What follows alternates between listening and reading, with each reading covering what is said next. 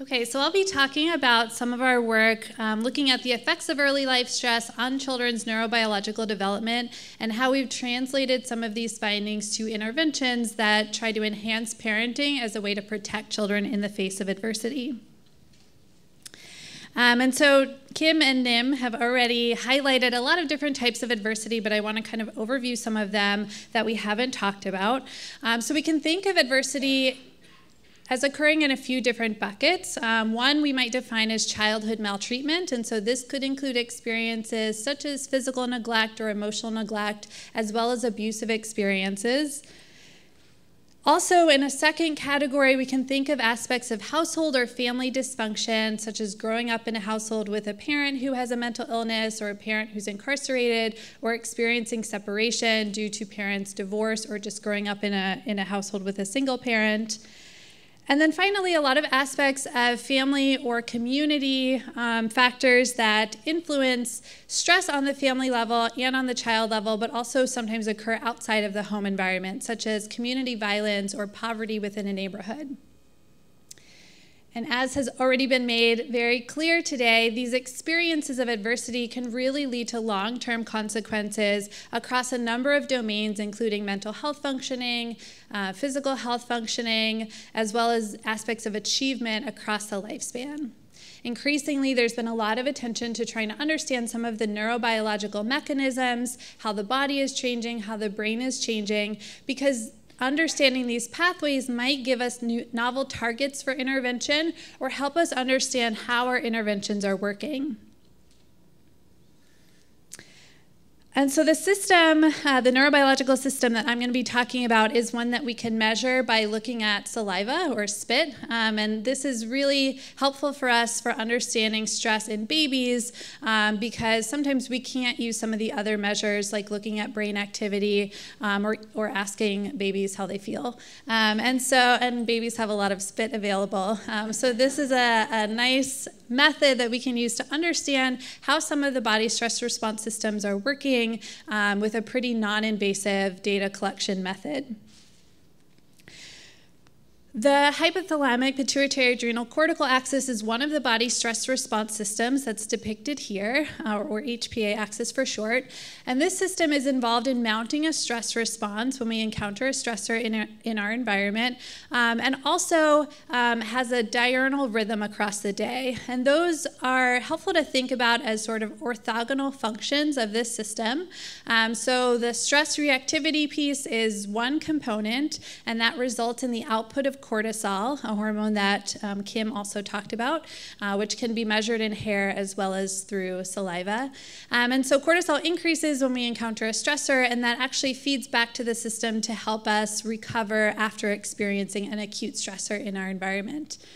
But also, cortisol is regulated through a diurnal rhythm across the day, and the HPA axis plays a role in regulating or maintaining typical levels of cortisol. Uh, and this is what the, that rhythm looks like. So when we wake up in the morning, we have a peak of cortisol about 30 minutes after we wake up. Um, so it's highest in the morning, and that helps us mobilize energy and start our day. So that peak of cortisol is, is indicative more of getting up and starting our day rather than increased stress in the morning. And then across the day, that comes down to near zero levels at bedtime. So, this healthy rhythm, characterized by high cortisol when we wake up in the morning and low cortisol at bedtime, is important for a number of functions in the body that have little to do with stress, although are often connected with uh, stress functions as well. So, supporting daily metabolism, immune system functioning, healthy brain growth have all been linked to having a healthy rhythm of cortisol across the day. One question then that we've asked is how does stress interfere with this healthy rhythm of cortisol? Uh, what happens when a child is exposed to chronic stress or some of those different types of adversity that I highlighted? So, in one study, we collected saliva samples from babies um, under three, so infants and toddlers, who had experienced varying levels of stress in their home environments, um, and then looked at that rhythm of cortisol from, from wake up to bedtime across three days. Um, so, we had parents collect saliva samples from their babies, store them in the freezer, and then pick them up and assay them for cortisol levels. And what we found, as expected in a low risk group, um, these are just children from a community without a lot of stressors, they had that typical rhythm of high cortisol when they woke up in the morning and low cortisol at bedtime. Um, so, this is a really healthy rhythm that reflects what I showed on the previous slide. Now, looking at a group of children who were placed in foster care after being involved with Child Protective Services, we see that they have a blunted or low level of cortisol when they wake up in the morning, uh, and a less steep decline across the day, really driven by that low waking cortisol. Um, and so, this is potentially surprising to some people because you might assume if cortisol reflects stress, then shouldn't more stress lead to higher cortisol? Um, but what seems to be happening here is a downregulation of the system such that cortisol is actually being produced at a lower level than it should be. And then when we turn to children who are also involved with Child Protective Services but stayed in their own homes, we see the most atypical pattern, which is characterized both by low cortisol when babies woke up in the morning, as well as higher than typical cortisol at bedtime. So what you see here is a low morning cortisol level as well as a blunted slope or decline across the day. And we've recently been interested in looking at some of these associations in a less high risk sample. Um, so we recruited about 100 families near Stony Brook on Long Island um, that didn't experience neglect or child welfare involvement, but were varied in, in exposure to other types of risk factors. So, for this study, we added together several socio-demographic risk factors like having low income, a parent with low education, being a single parent, or having low, um, or, being a young parent, and looked at that in combination with factors in the relationship that would characterize or may lead to stress. So, having a caregiver who was not nurturing um, or, or, less nurturing than typical in response to a baby's distress, um, not responsive in play interactions or show low delight or positive regard uh, in terms of their affect during play. And collectively, these could be thought of as indicators of low parental sensitivity. And so, if we put those together, having risk factors in the environment combined with having a parent who's not especially sensitive, that could be collectively thought of as cumulative risk. What we found was that Cumulative risk, again, reflecting both high risk in the environment as well as low sensitivity in the parent child interaction, uh, was predictive of, again, that blunted cortisol pattern from wake up to bedtime. So, children that were experiencing that accumulation of stress um, were more likely to show this downregulation or blunting of their cortisol rhythm. And so, a question, of course, is why care about cortisol, um, and we care about it because, as Nim and Kim pointed out, it really has an effect on the developing brain. And so, when we look at behavioral outcomes, we've seen in previous studies that this blunted cortisol rhythm is particularly associated with externalizing behavior, like being oppositional and defiant and aggressive, as well as difficulty regulating anger. Um, and so this pathway suggests a target potentially for intervention. If we can normalize cortisol, we might see some changes in these outcomes that are really important for um, development, school success, peer relationships, and so on. A question, though, is where to target intervention. So, um, Kim provided a really good rationale for targeting at the level of some of those stressors. So, trying to reduce some of the disparities we see in terms of socioeconomic status. Um, but we can also target the level of parenting, as both of them have really provided evidence that parents serve as important co regulators really early in life. So, the parent child relationship, especially during infancy, is so central to children developing the ability to regulate their emotions when they experience distress or anger, as well as their ability to regulate their behavior, um, as well as their ability to regulate on a physiological level. Um, parents are really the source of all aspects of regu regulation really early in infancy. And so I'm going to talk about an intervention that aims to enhance the parent's role as that co regulator by building up parents' ability to be sensitive and responsive in interactions with their babies. So, this intervention is called Attachment and Biobehavioral Catch Up, or ABC for short, uh, and was developed by Mary Dozier at the University of Delaware. Uh, Mary was my graduate advisor, so a lot of the work that I'm presenting was completed in collaboration with her. And so this intervention is a 10 session, really brief intervention that's delivered in parents' homes. So it's 10 hours total, one hour per week for 10 weeks in a row, ideally. And it really narrowly focuses on enhancing the quality of the parent child relationship. So there are three targets that we aim to address in the context of ABC. The first is helping parents be nurturing when their babies are distressed. That might include verbal support, checking in verbally, physical, soothing, um, or comfort. The second is helping parents follow the child's lead with delight, and this is something commonly referred to as serve and return interactions. When the child serves a bid for attention, the parent returns that serve in a way that's contingently responsive to the child's interest or cues. And then, third, avoiding behaving in frightening ways. Um, so, this is aiming to reduce behaviors that might be overwhelming for children, intrusive behaviors, or overtly frightening, like being yelled at or, or handled harshly physically. These three targets are addressed through manualized content that guides each session. So, a parent coach goes into the home and has a topic that they're going to talk about each session. However, most of the action doesn't really happen from manual content or discussion. It really happens by coaching parents during their moment to moment interactions with their babies. Um, so, I'm going to show you some clips that highlight what those moments look like.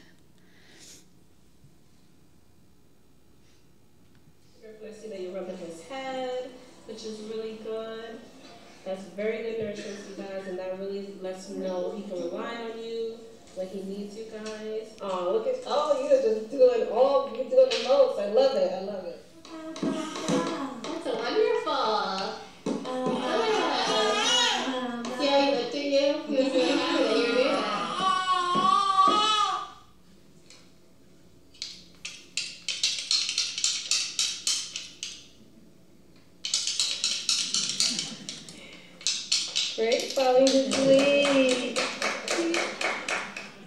Okay, so that baby had a lot of responsive um, partners there.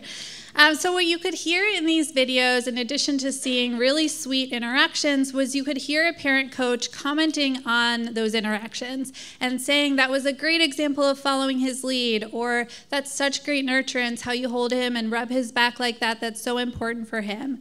Our parent coaches for this program are expected to make these comments at least once per minute. In an hour long session, that means a parent might hear 60 times all of the positive things that they're doing. And the, gradually throughout this session, we gently scaffold or coach parents when they're struggling to respond in these sensitive ways, but initially we're very exclusively focusing on the positive.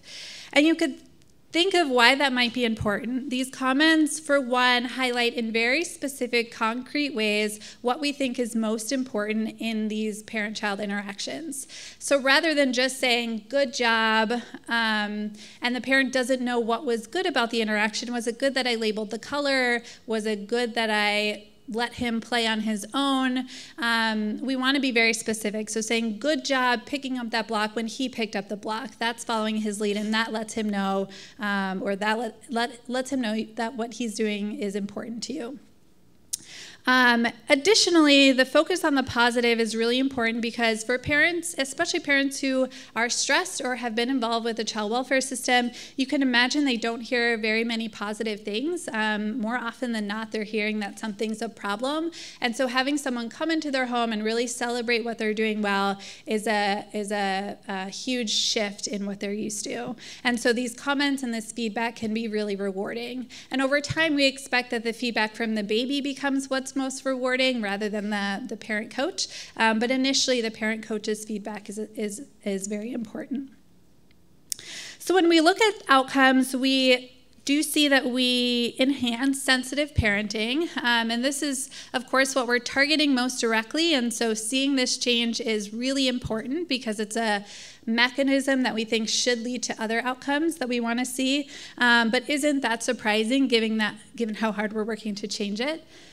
We also see that this carries forward and reduces rates of disorganized attachment in these babies. Um, and for children exposed to neglect or abuse or even a high buildup of sociodemographic risk factors, disorganized attachment, which is a breakdown in the attachment system and the attachment strategy, is seen at really high rates. So the fact that a brief 10 session intervention can impact this is really important.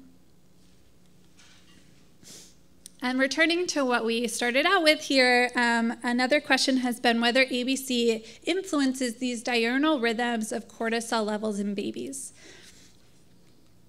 So, in our control group um, here, which importantly also got a 10 session intervention, also delivered in the home by a parent coach, just didn't focus on sensitivity, what we see is that blunted rhythm of cortisol across the day, such that they have lower than typical wake up levels and a flat slope. In the ABC group, though, and this is within a few months of the intervention, we see that their cortisol rhythms are more normal than compared to the control group with a higher level of waking cortisol. And when we follow these kids for years after the intervention, so these data now are three years later, when the children were about four to five years old, we still see that more normal rhythm of cortisol across the day. And given that enhancing early attachment and early self regulation should lead to other consequences that affect brain development and then outcomes related to cognitive ability or behavioral outcomes, we've tested some other outcomes associated with ABC and found positive effects on children's affect expression and regulation, as well as aspects of executive functioning like cognitive flexibility, um, as well as behavioral compliance and also aspects that might point to enhanced school readiness, like higher receptive vocabulary at preschool age. Now, when we take an intervention that's been developed and well tested in a research lab and move it out into the community, there's a lot that can go wrong. Um, for those of you that do intervention work, there's a lot of evidence of reduced effectiveness when interventions are moved from a research setting into the community. And this might be due to changes in who's implementing the intervention, changes in training and supervision changes in fidelity, changes in who's being served by the intervention, but collectively we see this drop off in effectiveness. And so, some of what I've been interested in recently is how ABC works in a community setting when it's being implemented um, in a way that's less well controlled, although we still keep a lot of control over it. Um, and so I've had the great fortune of partnering with this fabulous group of people um, for, for an organization called Power of Two. Um, Power of Two is a nonprofit based in Brooklyn, but serving all of New York City right now and scaling up the ABC intervention. Um, and so this photo here shows lots of outreach workers as well as ABC coaches that are doing this work. And to date, I think We've served over a thousand babies in New York City uh, over the past three years. Um, because it's a short-term intervention, it can be really be brought to scale on a level, that other programs sometimes can't. Um, so ABC, through Power of Two, is being disseminated for infants in foster care, infants returning home from foster care, as well as infants in communities characterized by risk. And so some of the research we've been doing has been focused in Brownsville, which is a community in Brooklyn that has a really high child poverty rate. And I'll just highlight one outcome that we're seeing so far in an RCT there, um, which is looking at cortisol outcomes. And even in this dissemination effort with coaches hired from the community, some graduates of the ABC program themselves, we still see this enhanced cortisol regulation following the intervention, uh, which suggests that we might be able to disseminate this and scale it uh, and still see high effectiveness in the communities we care about. So, in conclusion, I think collectively all three of our talks really point to the important role of understanding sources of stress for children um, and how that impacts children's neurobiology, um, and also highlight several sources of protection, parents being one of them. Uh, with that, I'll thank you all for your attention and note uh, many collaborators and funding for all this work. And yeah, we'll move into questions.